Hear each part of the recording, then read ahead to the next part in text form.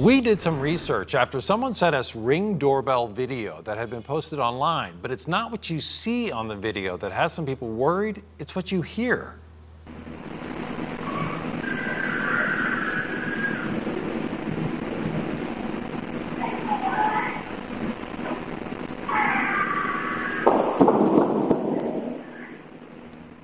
A lot of people say it sounds like a woman screaming and then gunshots. We found out it was taken in Prince George County January 1st, possibly in the Sandy Ridge Road area. Now, we reached out to police there as well as officers in Hopewell. They say they didn't get any calls about the incident.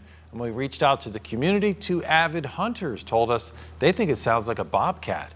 If we learn anything new, we'll be sure to let you know.